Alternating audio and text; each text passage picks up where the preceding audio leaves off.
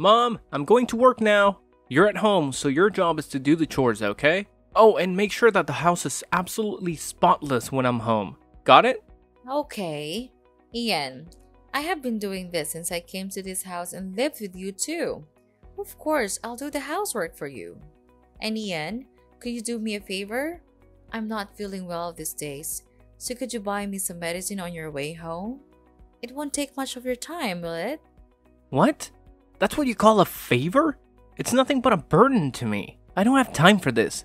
Seriously, Mom, don't you realize that I'm always buried under a mountain of reports from work? It's like I'm constantly swimming in deadlines and responsibilities. And now you're asking me to do something as trivial as buy some medicine? Can't you see that I have a million other things on my plate? I mean, come on, even if you're not feeling okay, you're perfectly capable of getting up and going to the drugstore yourself, right? You're not disabled or anything, so why are you acting like you can't handle this simple task? It's frustrating, Mom, it really is.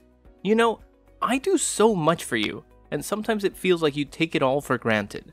It's like my efforts go unnoticed or unappreciated. It's enough to drive me crazy, you know? I just wish you could understand the pressure I'm under and cut me some slack once in a while. What? Ian, I'm not forcing you to do much. I'm just asking whether you're free to buy me some medicine. And how dare you talk to me like that? It's rude of you to treat your mother that way. I gave birth to you, loved you, and nurtured you until now. And when you're all grown up and have your own life, you just forget all of them? Oh, please, stop with your stupid touching dramas and just leave me alone. I'm so tired with all your complaining and whining. Do you think that just because you're my mom, you can make me do whatever you want? No way. And I have already told you, I have my work and the whole family to take care of. I'm exhausted right now, so could you please stop bothering me? Ian, I understand that you have your own life, but as your mother, I still have needs and sometimes require help. It's not about making you do whatever I want, but about the support and care that family should provide for one another. We're supposed to be there for each other, especially in times of need, right? Ugh, you're getting on my nerves. It's unbelievable. You're my mom, but it feels like you don't even make an effort to understand your own son. Ever since I was young, you constantly made me do things for you, and those things were like a never ending nightmare. But now, things are different. I won't let you manipulate me like that anymore. I refuse to be your stupid, foolish son. I have my own life, my own job, and I work hard to earn money to support this entire household. You should acknowledge that and start adjusting your attitude towards me. If you do, we can all live in peace and happiness here. But if you continue with your behavior, well, I'll just have to do my own thing. And what thing is that, Ian? What exactly are you implying?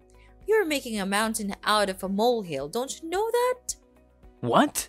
Oh, no, I'm not. I'm just expressing my honest feelings towards you, you useless mother. If you can't understand how frustrated I am, then maybe you need a reality check. You constantly disturb me and make a fuss over nothing, and it's driving me insane. Ian, I understand that you're upset, but resorting to insults and threats won't solve anything. We're family and we should find ways to communicate and resolve our issues respectfully. Respect? What did you ever do to earn my respect? You're always intruding in my life, nagging about trivial matters and acting like you're the center of the universe. Well, newsflash, Mom, you're not.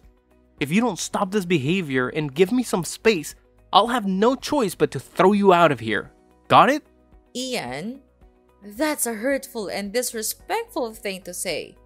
I may not be perfect, but I've always tried my best to take care of you and support you. Threatening to throw me out of my own home is completely uncalled for. Maybe if you had respected my boundaries and understood that I have my own life to live, we wouldn't be having this conversation. I'm tired of being suffocated by your constant demands and melodrama. It's time for you to realize that I'm an adult now and I deserve to be treated as such. Are you blaming things on your own mother? You've got the nerve. You don't have the right to say that about me. Are you losing your mind? You're insulting your mom. What's so serious about that anyway? And I'm not being rude at all. It's you who always wants to make every bad thing my fault. But don't think that I'll be tricked into your cunning trap. I'm not that innocent boy. Now, if you pardon me, I've got some important work to do right now. Here's the money. Just go out there and buy your stuff on your own. I'm not gonna help you. Bye.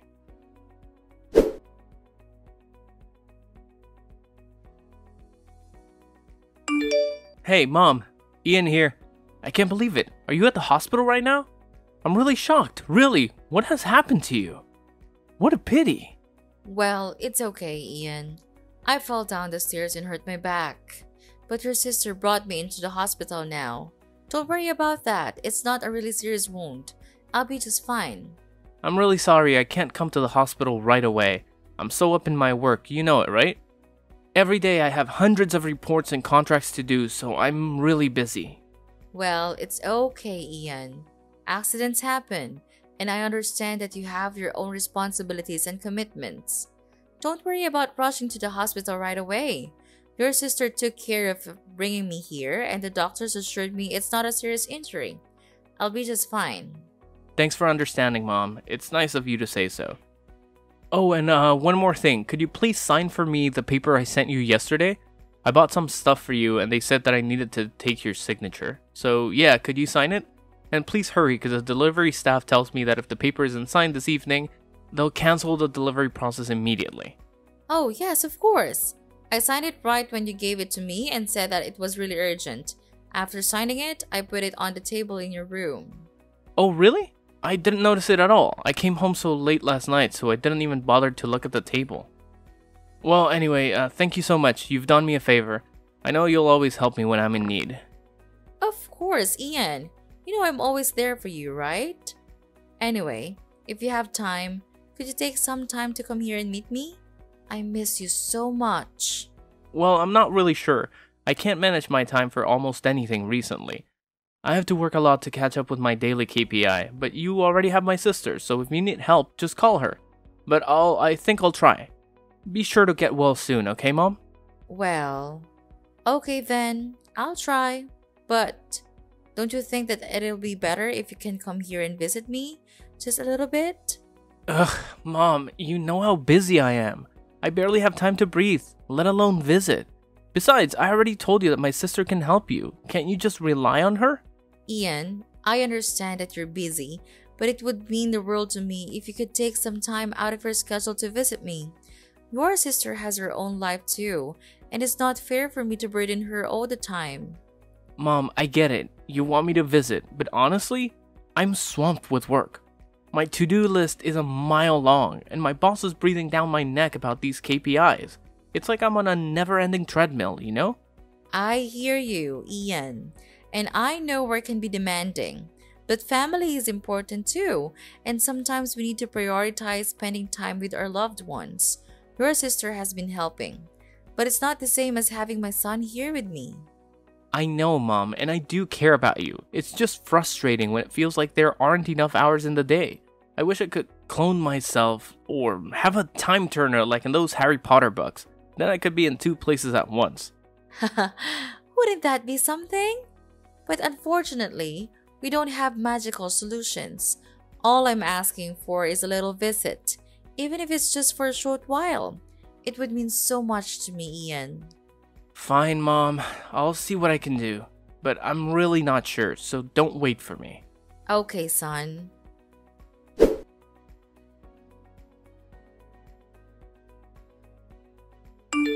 Oh, hi, Mom. Do you feel much better now? Yeah, well, Fortunately, everything's getting much better now, and I think that I will be discharged from the hospital soon. I am really happy to wait for this day to come. Don't you think so, Ian? Oh, of course, I wish the same. I'm thrilled to hear that you're on the road to recovery. It's been a challenging time, but seeing you get better brings me so much relief and joy. I can't wait for the day you're back home healthy and happy. Really? You do? That's good to hear. I'm glad you think the same. Yeah, and I'm really eager to tell you this important news as well. Well, you'll be really surprised to hear this. really, Ian? Why do you always have to be so mysterious?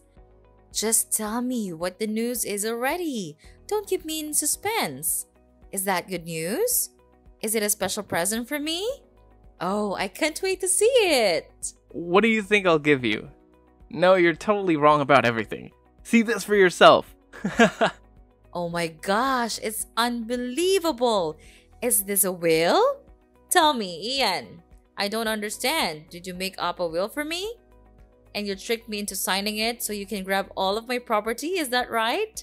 I can't believe my eyes anymore. You'll have to believe me now. and yes, I lied to you. I lied about everything. Remember that present I told you about?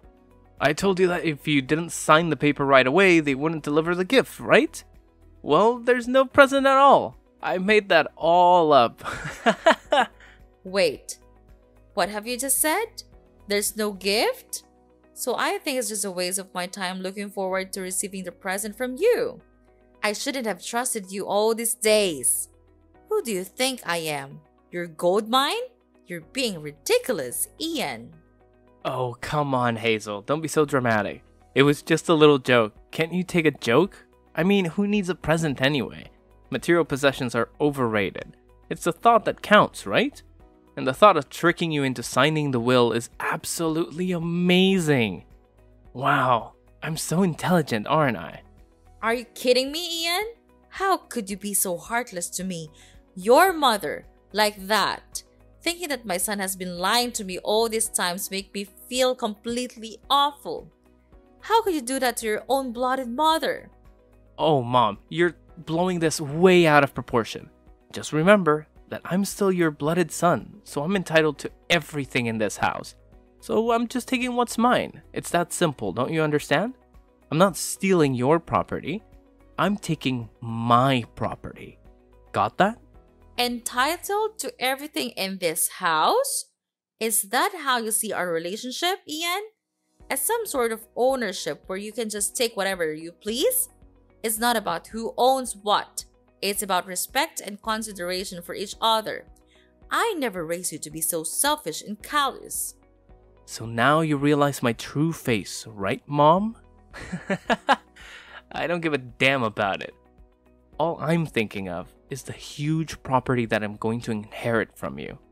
That would be a huge load of money, right? Understanding and fair balance. I understand that you're my son, Ian, but that doesn't give you the right to disregard my feelings or treat me like some obstacle to overcome. How could you do that to me? You're such a terrible son. You can just show me a little bit of sympathy. Oh, come on, Mom. Can't you see the bigger picture here? We're talking about a massive inheritance, money, property, the whole shebang. It's like winning the lottery, only better, because it's all in the family. Ian, it's not about the money. It's about the way you're treating me. I thought we had a bond, a connection as mother and son, but all you care about is material wealth. It's disheartening to see how you value possessions over relationships. Of course. Why not? With all that money and property, I could live a life of luxury alone. I could finally have everything you've ever dreamed of fancy vacations, expensive cars, designer clothes, the works. Doesn't that sound appealing? Ian, money can't buy happiness. It might provide temporary pleasures, but true fulfillment comes from meaningful connections and treating others with respect. I can't believe you're so fixated on material possessions that you're willing to disregard our relationship. Oh, lighten up, Mom. You're being so melodramatic. Why can't I take back the money that is sooner or later mine? And what do you need these properties for anyway? You're too old and weak now. It's almost time you kicked the bucket, don't you think? You can't even walk the steps, see? That's why I decided to speed up the process and take what has to be mine. In this family, it's clear that you only care about my sister. I don't understand what she did to you, but it's obviously not fair to me at all. Well, I know you will eventually give all of your assets to her one day, so I would have to do it first to protect my own well being. All of these things the house, the garden, all of them will soon become mine. Ian, It's not about fairness or what you think you're entitled to. It's about respect and compassion. You're talking about wishing for my demise just so you can get your hands on the assets. That's beyond cruel and heartless. Well, Mom, it's not like you're gonna need those properties anyway. I mean, you're getting up there in age, and let's face it, you're not as spry as you used to be. Walking up the stairs is a challenge for you these days. It's about time someone took charge and made better use of those assets. How dare you speak to me like that, Ian? My age or physical condition doesn't give you the right to treat me with such disrespect. And it's certainly not an excuse for you to expedite my departure from this world. Your lack of empathy is truly disturbing. You know what's even more disturbing, Mom? The fact that you clearly favor my sister over me. I don't understand what she did to earn your affection, but it's blatantly unfair. And mark my words, one day you'll just hand over everything to her, leaving me with nothing. Ian, this isn't about favoritism. It's about your attitude and the way you're behaving right now. I can't believe you're willing to stoop so low and use these manipulative tactics to try and secure your own well being. Family should be about love and support, not greed and deceit. Well, if you're not going to consider my needs and protect my future, then I have to take matters into my own hands. It's clear that you won't do what's right, so I'll have to do it for myself. And when that day comes, all of these things the house, the garden will be mine, and you'll have no say in the matter. Ian, you're completely missing the point. This isn't about possessions or who gets what. It's about the relationship between a mother and her son.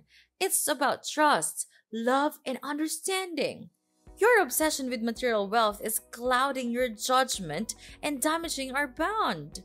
Oh, spare me the sentimental lecture, Mom. Relationships won't pay the bills or secure my future. Money talks, and I intend to have a comfortable life. If you can't see that, then maybe it's time for me to distance myself from your toxic influence.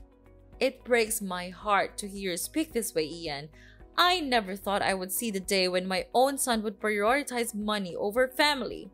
Your lack of empathy and disregard for our bond is deeply disappointing. I don't understand why you could grow ungrateful like this. Well, Mom, maybe it's time for you to reevaluate your priorities too. Maybe then you'll understand why I'm so driven to secure my own future. Until then, I'll do what I must to protect myself. And when the time comes, I won't hesitate to claim what's rightfully mine. And you know what? It's because of you that I had to resort to this. If you had even shown me some respect, I would not have been treating you this way. I can't believe you could be this wicked and nonchalant. Even though I was at the hospital, suffering from the killing pain in the back, you chose the time when I was the weakest to trick me. Your mother? That's unacceptable. If you could be that harsh, then I'll spill the beans to you. This will is not valid. What? What do you even mean? I don't understand. Oh, no, Ian. I'm not joking at all. It seems like you underestimated me once again. You thought you could outsmart me with your fake will, but little did you know that I had already taken the necessary steps to protect myself and my assets. Yes, that's right. I had the foresight to write a will long ago, anticipating the day when my health would deteriorate. I guess your plan to claim what's rightfully yours just went up in smoke, didn't it? and don't even think about challenging the validity of my will. It has been confirmed and authorized by the proper authorities, so your fake will will hold no power whatsoever. No, this can't be happening. You can't just take control of everything. It's impossible for you to do this. But who will you give the property to anyway? It's me, isn't it? Oh, Ian, Ian, always the optimist, aren't you?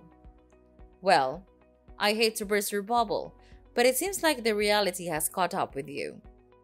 But I'm really afraid to tell you that I gave all of my assets to your sister. She's the one who takes care of me the most, even when I was at my worst. At that time, you always seemed to be too busy with your work, So I think maybe you should just stick to them all your life. At least it can bring you money, while I can't. No, this can't be happening. Well, Ian, you see, while you were busy scheming and plotting, I took the necessary legal steps to protect myself and my assets. It's called being responsible and thinking ahead, something you clearly didn't consider. So, yes, it is possible for me to do this, and I have done it. You're one step too late, Ian. Your little plan has crumbled to pieces, and there's nothing you can do about it. This can't be the end. There has to be something I can do. You can't just shut me out like this. Oh, poor Ian. Still clinging to hope, aren't you? Well, I hate to break it to you, but you've run out of options. You should have thought about the consequences before you decided to manipulate and deceive. Now you're facing the repercussions of your actions. It's a harsh lesson, but one you needed to learn. And I have decided that it's time you move out of this house and mind your own living. Well, it's time for you to face the reality that you've created for yourself, and trust me, it's not a pretty one. Wait, what? Are you throwing me out? Of course, it's crystal clear that you don't deserve to live here and be my son anymore. I cut ties with you from now on. Get out! Please, Mom, there must be some way to resolve this. I never wanted it to come to this. Can't we find a compromise? A compromise? You say? Well, isn't that convenient? Now that your plan has failed, you suddenly want to find a compromise. But let me ask you, Ian, where was this willingness to compromise when you were scheming and plotting behind my back? It seems like your desire for compromise only surfaces when it benefits you. No, Ian, there is no compromise to be found here. You made your bed, and now you have to lie in it. Maybe next time you'll think twice before trying to deceive your own mother. Mom, please, listen to me. I know I made some terrible choices and said hurtful things, but deep down, all I want is for us to repair our relationship. I know my fault now, and I'm sorry for everything. I never intended it to reach this point of animosity. Can't we set aside our differences and find a way to move forward? Ian, it's hard for me to trust your words after everything that has transpired. Your actions have caused immense pain and damaged our bond. It's not just about finding a compromise now that your plan to manipulate me has failed. It's about genuine remorse and a commitment to change. I understand, Mom. And I truly am remorseful. I never wanted to cause you pain or manipulate you. I got caught up in my own desires and lost sight of what truly matters the love and connection we share as a family. I'm begging you. Could you just please give me a chance to make amends? No. I've given you hundreds of chances to do it, but you just refuse to listen to me.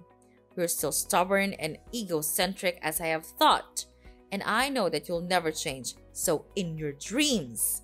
No, I'm I'm different now. I, I'm willing to do whatever it takes, Mom. I'll work on myself to become a better son. I will try. I'll make you see my effort. So could you please forgive me? I know you still love me, right? Just remember how close we used to be. You couldn't leave your son like this. Whatever you say, I'm still your only son. No. You're not my son anymore. Get lost and don't make me see your callous face. It's disgusting. Don't even hope that I'll give anything to you. It's over now. You're nothing to me. So pack your things and get out of my house.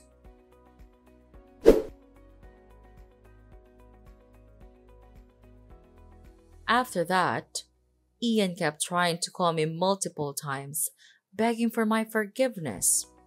But I had already blocked his number, so his attempts were in vain. As a result, Ian had no choice but to pack up his belongings and leave my house. With no place to call home and no well paying job, he ended up finding a less than ideal living situation in a dingy slum. I heard through the grapevine that he even had to take up a part time gig as a cashier at a convenience store just to make ends meet. As for me, with the love and support of my daughter, things started looking up. Each day, my situation improved. and I could finally return home and embrace a happier life. It's certainly heartbreaking to have to leave my own son behind, but it was necessary to teach him a lesson and make him realize the gravity of his actions.